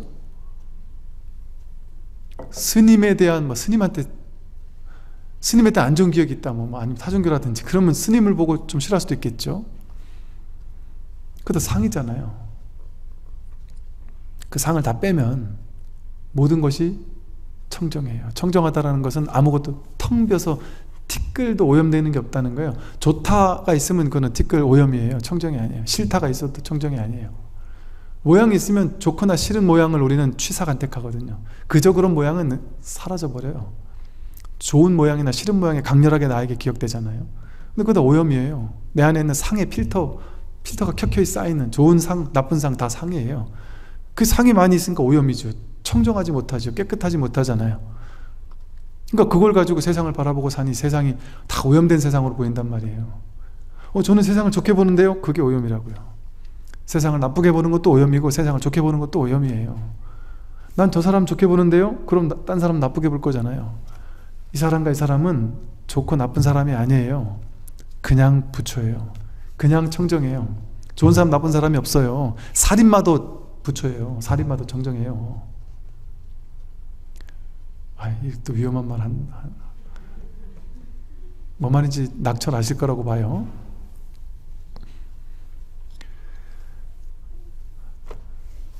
살인마가 찔러 죽일 때 이거를 뭘로 죽이냔 말이에요. 전쟁에 나가가지고 전쟁에서 적군을 칼로 죽일 때 총을 쏠 때 뭘로 쏴요? 이 하나가 하는 거예요 이 하나가. 죽고 사는 일이 다른 일이 아니에요. 여기는 청정해서 이 법에는 법의 본체는 청정합니다. 이 법의 본체는 청정해서 삶의 실상 이 세상의 실상 여러분의 실상 진실은 청정해서 티끌 하나 붙을 자리가 없어요 아무 오염이 없습니다. 좋은 거 없어요. 아무것도. 이 세상에 뭔 좋은 게 있어요? 나쁜 거 없습니다. 여러분이 좋다고요? 여러분이 나쁘다고요? 여러분이 죄인이라고요? 여러분이 뭐 착한 사람이라고요? 그 다 오염이에요. 그런 게 없어요. 그냥 청정해요. 한 티끌도 없어요. 붙을 자리가 없어요. 공해요 공해. 그래서 공하다리잖아요. 우리는 그 어떤 말로 규정될 수 있는 존재가 아니에요. 좋은 사람도 아니고 나쁜 사람도 아니에요. 내 인생은 잘 산 것, 못 산 것 아니에요 꽃다지의 삶은 허망하고 뭐 강렬한 장미의 삶은 잘산 건가요? 아니잖아요. 똑같아요 모든 삶은 똑같아요. 대평등이에요. 그래서 불교에서 대평등 사심이래요 사심. 버릴 사자. 어떤 것도 분별하지 않고 분별을 다 버리고 본다. 그러면 대평등심으로 보게 된다. 그게 한바탕으로 보는 거예요. 그러니까 불이법 둘이 아니란 말이에요. 세상은 이 사람 저 사람 좋은 사람 나쁜 사람으로 나뉘지 않아요. 통으로 하나예요 다 평등하고 다 청정해요. 다 부처예요. 본래 부처예요. 적고 아군이 다 본래 부처고 착한 사람 어리석은 사람이 다 본래 부처란 말이에요. 선인도 악인도 다 본래 부처입니다. 다만 우리는 상에 얽매 있기 때문에 자기식대로 왜곡 해석해서 보니까 이 본래 청정한 법의 본체의 청정함을 보지 못하는 거죠. 이런 까닭에 무상을 본체로 삼습니다. 상 없는 것을 본체로 삼아요. 선지식들이요. 모든 경계 위에서 마음이 물들지 않는 것을 일러 무념이라고 합니다. 이제 이번엔 무념을 설명해요. 경계 위에서 마음이 그 어떤 경계도 물들지 않는 것. 눈으로 보는 경계, 색경, 귀로 듣는 경계, 소리라는 성경. 뭐 보고, 듣고, 냄새 맡고, 맛보고, 만지고, 해석하고 하는 모든 경계 위에서 마음이 물드는 것 그게 생각에 빠지는 거예요 보자마자 생각이 일어나서 이건 좋다 나쁘다. 좋은 건 취하고 싫은 건 버리고. 어떤 소리를 듣자마자 아 이 소리는 듣기 좋은 소리 더 듣고 싶어. 이 소리는 듣기 싫어 밀쳐내고 싶고. 냄새 맡자마자 좋은 냄새 나쁜 냄새. 맛보자마자 좋은 맛 나쁜 맛. 감촉을 느끼자마자 좋은 감촉 나쁜 감촉. 생각하자마자 좋은 생각 나쁜 생각. 좋은 생각은 취하고 싶고 싫은 생각은 버리고 싶고. 그게 얽매이고 그게 물드는 거잖아요. 물든다는 게 그게 오염되는 거예요. 텅 빈 하얀색 텅 빈 바탕이 오염된단 말이에요. 그걸 물든다 그래요. 오염에 물들잖아요. 그게 물드는 거예요. 근데 일체 경계 위에서 보고 듣고 맛보고 하는 육경이라는 여섯 가지 경계 모든 경계 위에서 마음이 물들지 않는 것을 일러서 무념이라고 한다. 본래 한 생각도 일어난 바가 없단 말이에요. 생각을 다 하면서도 그 생각에 머물러 집착하지 않는 것 사로잡히지 않는 것 그게 무념이에요. 생각 다 하면서도 그 생각에 집착하지 않는 거죠 그러면 마음은 텅 비어서 어디도 물들지 않아요. 오염되지 않아요. 스스로의 생각이 항상 모든 경계에서 떠나 있기에 경계를 따라 마음을 일으키지 않습니다. 생각이 모든 경계를 떠나 있다 이 말도 마찬가지예요. 경계에 가서 딱 사로잡혀 있지 않는다. 부, 사로잡혀 붙박혀 있지 않는다. 붙잡혀 있지 않는다. 구속되어 있지 않는다. 어떤 경계도 구속되어 있지 않는다. 모든 경계는 전부 다 왔다 가는 거잖아요 왔다 가는 거를 부여잡지 않는단 말이에요. 오면 오는 대로 내버려 두고 가면 가는 대로 내버려 둔다. 재행 무상으로 흘러가도록 허락해 준다. 그 있는 그대로 냅둔다는 거예요 내가 조작해 가지고 좋은 거라고 더 끌어당기거나 싫다고 밀쳐내려고 하지 않는다. 그러니까 경, 그게 바로 경계에서 떠나 있는 거예요. 경계를 붙잡지 않으니까. 경계에 따라 마음을 일으키지 않는다. 경계에 따라 마음을 일으키면서도 거기에 물들지 않으니까 일으키지 않는다고 표현을 한 거예요 아무것도 생각하지 않으려고 애씀으로써 생각을 끊어 없애려고 하지는 마십시오. 이렇게 무념이라고 하니까 오케이 무념이구나. 생각이 없어야 되는 거구나. 하고 이제 많은 사람들이 뭘 하냐면 무념하려고 가부좌 틀고 앉아가지고 생각 없어야 돼. 생각 없어야 돼. 생각 없어져라 없어져라 없어져라. 없어져라 없어져라 없어져라. 그게 생각이잖아요. 그리고 또 자기가 이제 한 1초 2초 3초 생각이 다 없어졌어요. 그러니까 성공했다. 생각이 없어졌다. 그 생각을 또 한단 말이에요. 생각 일어나면 막 그걸 찍어 누르려고 애쓰고 생각 일어나면 막 거기다가 대고 막 뭐, 뭐를 하든 막 그냥 아, 윗바사나를 하든 연부를 하든 그 생각은 나쁜 놈이니까 이걸 없애야 돼 하고 찍어 누르려고 한단 말이에요. 그걸 명상이라고 여긴단 말이에요. 지금 많은 명상단체에서 육조 스님 하신 말씀이잖아요. 아무것도 생각하지 않으려고 애씀으로써 생각을 끊어 없애려고 하지는 마십시오. 그게 무념이 아니다 이거예요. 생각 다 일어나도 좋다는 거예요. 생각이 물들지 않으면 되는 거지. 생각에 머물러 집착하지 않으면 되는 거지. 생각하지 말라는 게 아니죠. 생각 안 하면 어떻게 살아요. 생각하고 살아야죠. 근데 그 생각에 머물러 집착하지 않으면 된다. 모든 생각을 일으켰더라도 만약 한 생각을 끊어버리면 곧 죽게 되어 다른 곳에서 태어나리니 이는 큰 잘못입니다. 한 생각을 그냥 딱 끊어버리려고 막 애쓴다고 해서 문제 해결되는 게 아니에요. 그 생각을 딱 없애려고 없애려고 막 생각해서 끊어버리면 그 생각은 죽었잖아요. 그 생각은 죽었는데 또 다른 생각이 일어나요. 그래서 나는 이런 삶을 살지 말아야지 하고 그 생각을 이런 삶을 살면 안 돼 하고 그 생각을 딱 끊어버렸어요. 그럼 그 생각을 하면서 사는 나는 죽었어요 근데 또 다른 인생이 또 펼쳐져요 또 다른 생각 이 생각을 피해서 다른 생각으로 달아나거든요 우리는 항상 이 생각을 버리고 다른 생각을 쥐고 산단 말이에요. 더 좋은 생각. 심지어 생각이 없어야 한다는 생각을 쥔단 말이에요. 그러니까 생각하고 살던 사람이 생각을 없어야 한다는 생각을 쥐고 살면 어떤 일이 벌어질까요? 그 전에 생각 막 하면서 분별하고 살다가 그 때문에 괴롭다가 생각 없는 게 진리구나라는 걸 생각 하게 시작하면 어떤 일이 벌어지냐면 이제부터는 생각 때문에 괴로운 게 아니라 생각을 없애야 된다라는 생각 때문에 괴로워져요. 생각 때문에 괴로운 건 없어졌는데 생각을 없애야 된다라는 생각이 또 태어났어요. 그래서 그 생각이 나를 괴롭혀요. 그래서 생각이 막 올라오면 아 또 생각에게 졌구나 하고 막 괴로워져요. 실망하고. 그 똑같은 망상이죠. 도를 외우는 사람들은 모름지기 잘 사유하십시오. 만약 법의 뜻을 알지 못한다면 자신의 잘못을 오히려 옳다고 여겨 다시 타인에게 그 잘못을 권하게 되니 이것은 스스로의 어리석음을 보지 못하는 것일 뿐만 아니라 또한 부처님의 가르침을 비방하는 것입니다. 이, 이 생각, 생각 번뇌 망상, 분별 이것을 옳다고 여기면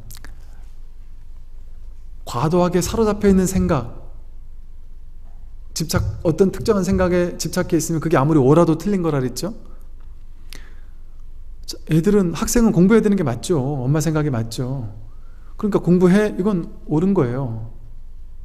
그런데 그 생각에 집착해서 얽매이고 구속되어서 자식들은 반드시 공부를 해야 돼. 그리고 공부를 열심히 해야 되고 어느 정도 이상 성적이 나와야 되라고 엄마가 집착을 하기 시작하면 그 생각이 과해지면 그건 이제 무념에서 벗어난 거란 말이에요? 그러면 그때 이 생각이 옳지요. 자식 공부 잘해야 하는 게 맞죠. 아무리 옳은 생각이라도 그 생각은 아이를 괴롭혀요. 아이를 힘들게 해요. 아이를 망칠 수 있어요. 폭력이에요 그것은. 그러니까 아무리 옳은 생각도 강, 그게 너무 강하면 틀린 거라니까요. 그러니까 그렇게 집착하는 생각은 다 잘못된 생각이에요. 그 집착하는 잘못된 생각을 오히려 옳다고 여겨서 타인에게 그 잘못을 권하게 된단 말이에요 이것은 스스로의 어리석음을 보지 못하는 것 뿐만이 아니라 부처님의 가르침을 비방하는 것과 다르지 않다. 심지어 이런 얘기도 있단 말이에요 이거 부처님 말씀이야. 그러니까 다 맞아. 하면서 부처님 말씀이니까 반드시 해! 그게 완벽하게 부처님 말씀에 맞는 거라도 틀린 말이에요 그 말은. 부처님 말씀이 맞으니까 부처님 예를 들어 절에 가면 절을 한다더라 절을 많이 할수록 좋다더라. 절 한 번도 안 해본 사람한테 아니면 막 70, 80 되신 어르신 무릎 안 좋은 분들한테 막 만배 하라고 매일 만배 하라고 시켜보세요. 무릎 나가요. 무릎 금방 나가죠. 인광복. 아무리 옳아도 그게 옳다는 걸 과도하게 집착하고 사로잡혀서 그게 그것만이 절대 진실인 것처럼 얘기하면 그건 틀렸단 말이에요. 그럼 그건 부처님을 비방하는 말이에요 연불해라 독경해라 기도해라 자선해라 전부 다 그걸 과도하게 얘기하면 그건 부처님 비방하는 것과 똑같다. 그러니까 절에서는 오는 사람 막지 않지만 가는 사람 잡지도 않는다 하잖아요. 불교가 좋으니까 넌 반드시 어떤 일이 있어도 우리 절에 와야 돼 너 딴 데 가면 큰일 나. 그냥 막 기어이 오기 싫다는 건 막 끄집어 오지 않는단 말이에요 불교는. 그렇게 포기하지 않는단 말이에요. 그렇게 하는 거 부처님 비방하는 거니까 아무리 옳은 거라도 옳은 거를 과도하게 집착해서 그렇다고 하면 그건 틀린 게 되기 때문에 그렇다. 극가달게 무념을 세워서 으뜸으로 삼습니다. 아무리 옳은 생각도 거기에 집착하면 사로잡히면 안 되기 때문에 무념을 세운다. 그래서 이렇게 어, 무념, 무상, 무주를 설하고 있죠. 선지식들이요 어찌하여 무념을 세워 으뜸으로 삼는 것일까요? 다만 입으로만 견성을 말하기 때문에 어리석은 사람이 경계를 따라가며 한 생각을 일으킵니다. 생각을 따라가며 곧 삿된 견해를 일으키니 일체의 티끌 같은 번뇌 망상이 이로 말미암아 생겨납니다. 자성에는 본래 얻을 수 있는 법이 하나도 없습니다. 이랬어요. 입으로는 견성을 말하는데 어리석은 사람이 경계를 따라가면서 한 생각을 일으키고 또 삿된 견해를 일으켜서 일으키게 되면 일체의 티끌 같은 번뇌망상이 이로, 이로 말미암아 생겨난다. 즉 견성을 입으로는 말하지만 입으로는 말하지만 그 생각에 사로잡혀서 한 생각 일으키고 경계 따라 어리석어서 생각을 일으키고 그 생각을 따라가면서 삿된 견해를 또 일으키고 그러니까 그 삿된 견해 때문에 또 온갖 티끌 같은 망상들이 막, 막 일어난단 말이죠. 입으로 아무리 견성을 말하고 아무리 좋은 깨달음을 말하고 부처를 말해도 자기 생각이 그렇게 무념처에 이르지 못해서 온갖 생각 때문에 휘둘리고 끄달리고 망상이 일어나고 분별이 일어나고 삿된 견해가 일어난다면 그것은 올바로 수행하는 것이 아니다라는 것이죠. 그래서 자성에는 본래 얻을 수 있는 법이 하나도 없다. 자성에는 얻을 수 있는 법이 하나도 없습니다. 자성, 진실, 법, 깨달은 마음 여기에는 본래 얻을 수 있는 법이 하나도 없습니다. 여러분 법을 배우러 오셨잖아요. 근데 제가 이제 가끔 필기하지 마세요 그러잖아요. 밑줄 쫙 긋지 마세요 그러잖아요. 왜? 필기하는 건 중요하니까 필기하는 거잖아요. 중요하니까 필기하고 밑줄 쫙 꺼놓으면 별표 쳐놓으면 어떻게 돼요? 거기 머물게 돼요. 이게 진리구나 딱 쥐게 된단 말이에요. 그러면 가가지고 빨간 펜으로 쭉 근단 말이에요. 그런 거 없다. 법이 없다니까요. 어, 한 법도 없는 것을 일러 우리는 법이라고 한 거예요. 불교에서 말하는 법이 그거예요. 한 법도 없는 것을 이름해서 법이라고 한 거예요. 이, 이 텅 빈 자리에는, 이 법의 실상의 자리는 부처도 붙을 게 없어요. 부처도 없어요. 중생이라는 망상이 있으니까 거기에 상대해서 부처라는 대치법을 써가지고 부처를 내세운 거지. 상대적으로. 이 자리에 가면 부처가 없어요. 법도 없어요. 한 법도 없습니다. 진리, 열반, 해탈, 그 다 쓰레기 같은 소리예요. 그게 이 법의 자리에서는 한 티끌 한 티끌도 붙을 자리가 없는데 거기 법이다, 열반이다, 해탈이다 이런 것도 다 오염이죠. 좋은 걸로 오염돼도 오염이라 그랬잖아요. 나쁜 걸로 오염되면 오염이 아니고. 그러니까 우리는 부처를 쥐려고 가는 게 아니라 부처조차 내려놓으려고 한 법도 줄 게 없다라는 걸 깨닫기 위해서 공부하는 거거든요. 그러니 불교를 믿으면서 그 사이비 외도에 빠질 확률은 올바른 불교를 믿는다면 아, 사입이 외도에 빠지게 하려면 어떤 특정한 생각을 가지고 주입을 해야 되잖아요. 근데 불교는 주입을 했다 그걸 다 뺏어버리는데요. 줬다 뺏어버리는 게 진짜 불교예요. 계속 주는 거는 좋은 게 아니에요. 하나 숙제를 주고 법을 주고 이것만 지니면 된다 해서 딱 지니게 하는 거 좋은 게 아니에요. 줬다가 반드시 뺏어줘야 돼요. 그래서 어디도 발을 디딜 수가 없어야 돼요. 어디도 머물지 못하게 그게 무주예요, 무주. 어디도 머물 수 없으니까. 한 생각에도 머물지 못하고 어떤 모양에도 머물지 못하고 부처라는 모양에도 부처라는 생각에도 부처라는 자리에도 머물지 않게 한단 말이에요. 그게 무상무주 무념이에요. 그러니 당연히 왜 그런 얘기를 하겠습니까? 본래 한 법도 없으니까. 자성에는 본래 얻을 수 있는 법이 하나도 없으니까. 만약 얻는 것이 있어서 허망하게 화와 복을 말한다면 이것이 바로 번뇌이며 삿된 견해입니다 그런 까닭에 이 본문에서는 무념을 으뜸으로 삼습니다. 만약에 얻는 것이 있, 다면 이것을 하면 복을 짓는 겁니다. 이것을 하면 화가 됩니다. 그 우리는 복 짓는 건 열심히 해야 되고 화가 되는 건 하지 말아야 되잖아요. 근데 그렇게 얘기해 주는 게 있다면 그게 바로 번뇌이고 삿된 견해입니다. 이랬어요. 이게 불교의 위대한 의미예요. 이 세상 모든 종교가 다 이거 하잖아요. 이 세상 모든 종교, 사상, 철학이 전부 다 이거 하잖아요. 얻는 것이 있어서 화와 복을 말해서 화는 입지 말고 복은 지어라 이렇게 하잖아요.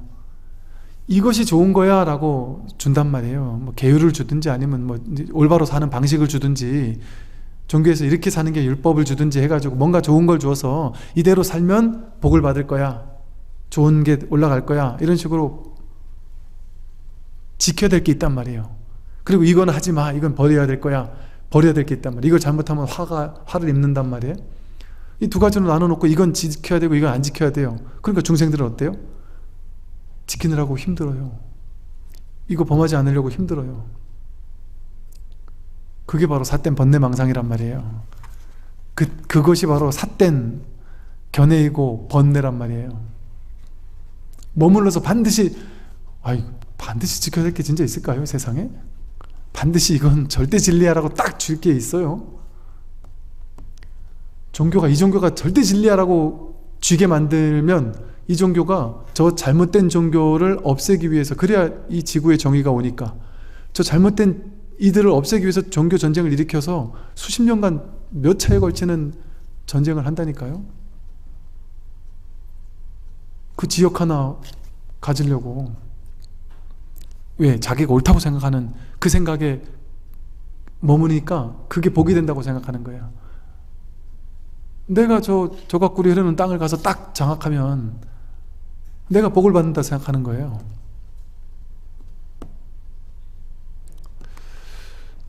그러니까 이제 모든 종교 와 뭐랄까 이제 좀 이 불교의 가르침이 다른 점이 이런 점이에요. 이런 지점이에요. 어디도 머물지 않게 하는 거예요. 머물 만한 곳을 싹 다 뺏어 버려요. 그래야 어느 여기 머물면 여기 머무는 거잖아요. 어디도 머물지 않아야 전체가 나잖아요.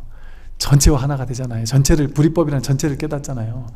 어디 한 생각에 머물거나 한 군데 머물면 그것만 진리가 되잖아요. 어, 우리 신을 믿으면 너는 구원받을 거야. 그 신에게만 구원이 있잖아요. 다른 데는 구원이 없잖아요. 그럼 편만은 하나의 님이 아니잖아요.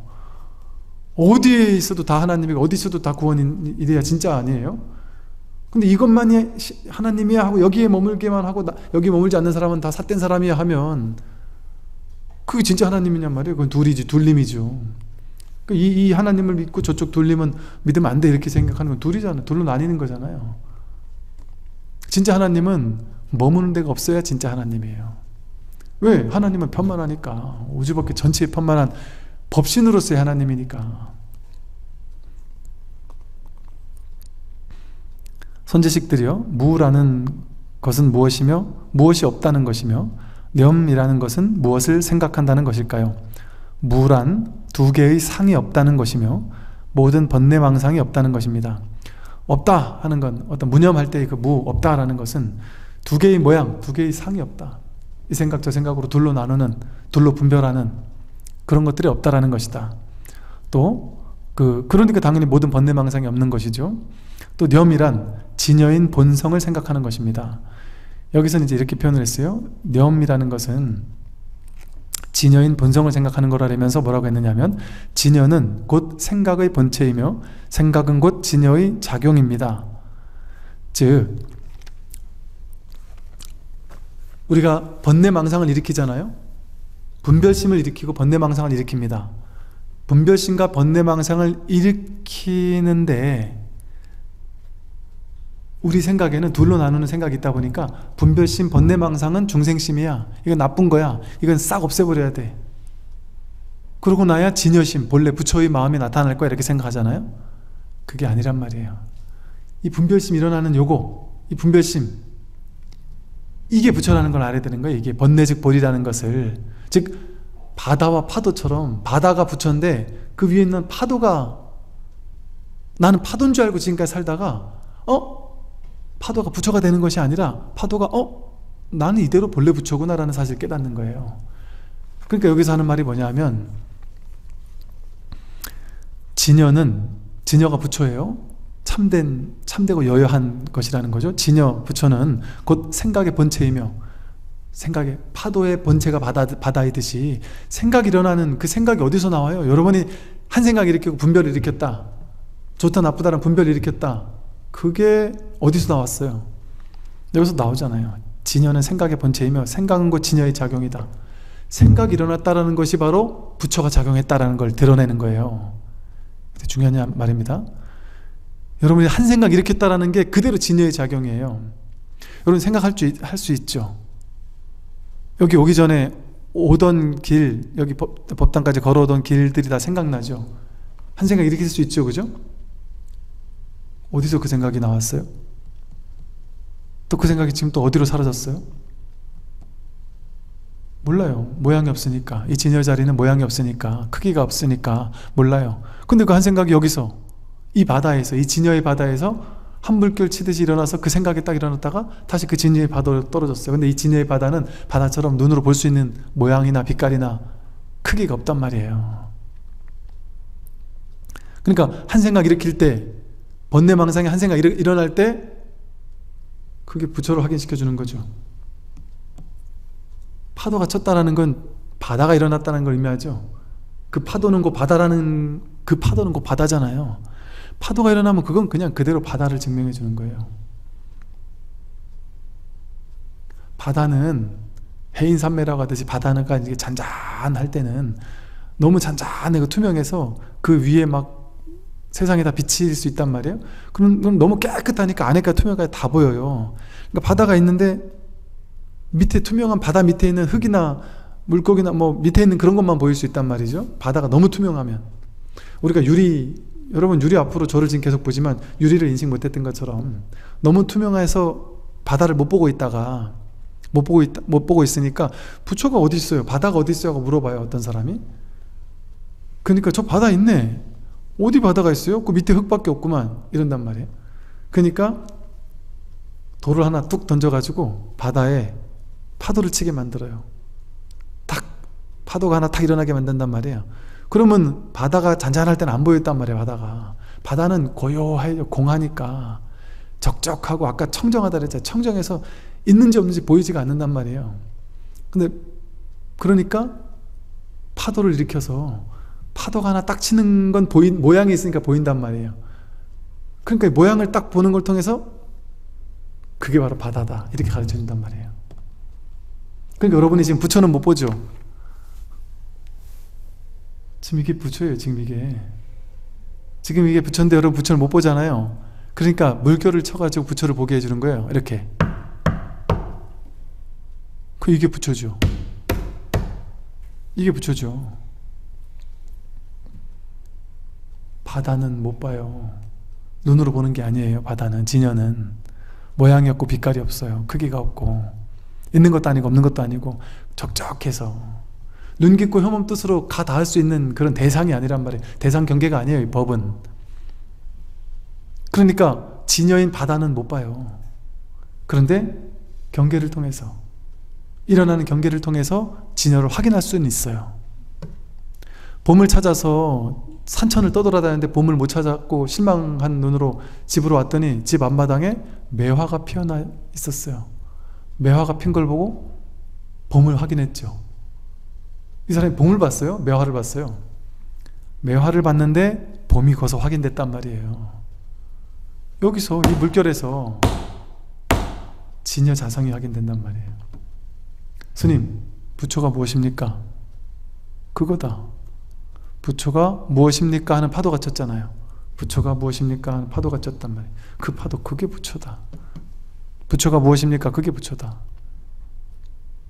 모르겠는데요? 그거다. 모르겠다는 그 마음이다. 이렇게 얘기한단 말이에요. 모르겠습니다. 모르겠습니다가 하나 일어났잖아요.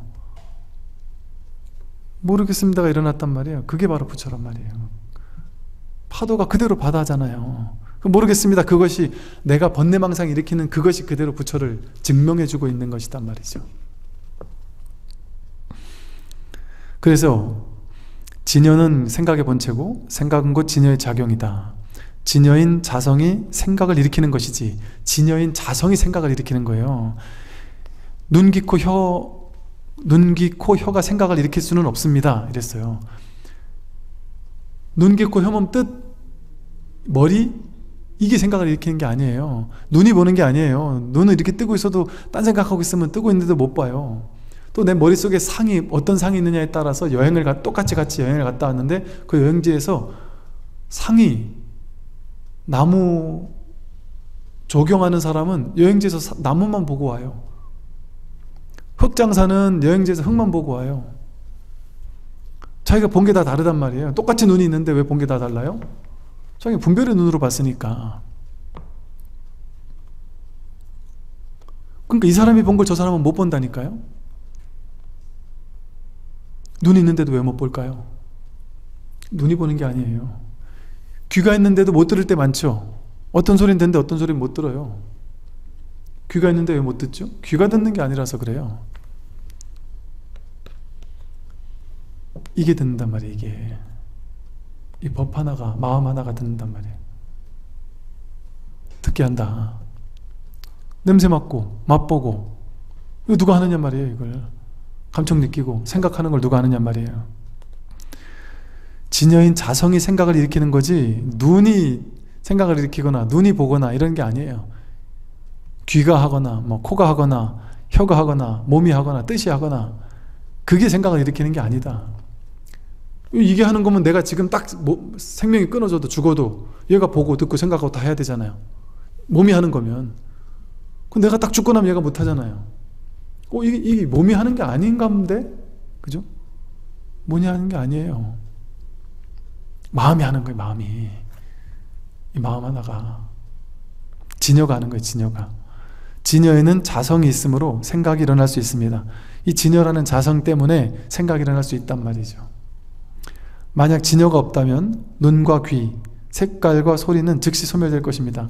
이 진여가 없으면 누가 눈으로 보는 것, 귀로 듣는 것, 눈으로 보는 색깔, 귀로 듣는 소리 이걸 이건 즉시 소멸된단 말이에요. 이걸 어떻게 볼 수 있고 어떻게 들을 수 있겠냔 말이에요. 진여가 없다면 진여가 하는 것이다. 선지식들이요 진여인 자성이 생각을 일으키니 육근이 비록 보고 듣고 느끼고 알지만 온갖 경계에 물들지 않고 참된 성품은 늘 자제합니다. 진여인 이 자성이 생각을 일으켜요. 진여인 자성이 이 진여인 자성이 보고 이 진여인 자성이 듣고 이 진여인 자성이 말하고 생각하고 행동하고 즉 여러분은 누가 살아요? 진여가 살아요. 부처가 살아요. 마음이 살고 법이 살아요. 내가 사는 거 아니라니까요. 나랄 게 없잖아요. 몸도 내가 아니고 느낌, 생각, 의지, 의식 다 내가 아니잖아요. 10대 때도 나라고 했고 지금도 나라고 했는데 10대 때 몸은 갔는데도 10대 때면 다 떠나가고 지금 딴, 전혀 딴 몸이 와 있는데도 나잖아요. 그때도 나고 지금도 나. 그 나가 누구예요? 그게 진여예요. 모양이 있습니까? 모양 없잖아요. 옛날에 시련의 아픔이 있었고 지금은 사랑의 행복이 있어요. 시련의 아픈 그 느낌이 납니까? 지금 사랑의 기쁨이 납니까? 그 느낌이 왔을 때 온 줄 알고 갔을 때 간 줄 아는 이놈은 늘 여기 있잖아요. 여기서 느낌도 왔다 가게, 생각도 왔다 가게 하고, 의지도 왔다 가게 하고, 의식도 왔다 가게 하고, 어, 의식이 보수였을 때도, 진보였을 때도 자기, 자기는 늘 여기 있잖아요. 보수적인 생각은 왔다 가고, 진보로 바뀌어가지고, 진보 생각이 왔다 가고, 이건 왔다 가는데, 그 생각이 나냔 말이에요. 내가 진짜 보수고, 내가 진짜 진보일 수가 있어요? 그거를 아는 놈이 늘 여기 있잖아요. 이게 진짜 나지. 이게 진짜 자기지. 이건 몸이 아니죠. 마음도 아니죠. 근데 이게 없느냔 말이에요. 이게 지금 보고 듣고 다 하고 있는데 다 알고 있단 말이에요. 다 알아차리고 있단 말이에요.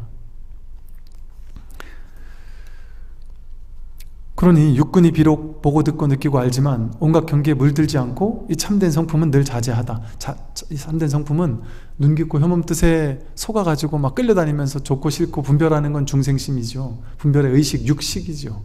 근데 그 육식의 바탕인 참된 자성은 늘 자제해요. 자유자재하다.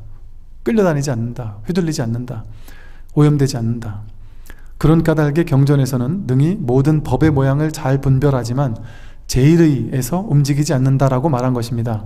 경전에서는 능히 모든 법의 모양을 잘 분별하지만 즉 보고 봐가지고 분별하고 듣고 분별하고 좋다 나쁘다 분별도 하고 다 할 줄 알아요. 깨달은 자도 다 할 줄 알아요. 분별 다 할 줄 아는데 제일의 자리에서 움직이지 않는다. 제일의가 뭐냐면 제1, 첫 번째라는 거예요. 첫 번째의 뜻. 이걸 제1의제라고 그래요. 제1의제. 승의제. 이렇게 불러요. 즉, 이 자성짜리, 본성짜리, 진여, 실상, 이 자리에서 벗어나지 않는다. 분별은 하지만 이 자리에서 벗어나지 않는다. 분별을 다 쓰면서도 분별에 멈, 끌려다니지 않고 늘 이 법의 자리, 이 자리에 있다. 근데 이 자리는 어디 따로 있는 자리가 아니니까 어디 머무는 자리가 아니에요. 그 법에 머문다라고 방편으로 말은 할 수 있지만 법에 머물러라고 하는데 머무를 법이 모양이 있거나 크기가 있거나 어, 머물 자리가 있어야지 머물죠. 이 성품 자리라고 하지만 따로 정해진 자리가 없는데 전체를 얘기하는 건데 어떻게 머물 거예요 거기에? 아, 오늘 이제 여기까지 하고 이제 다음 시간에 이제 참된 자선이란 부분 또 들어가도록 하겠습니다.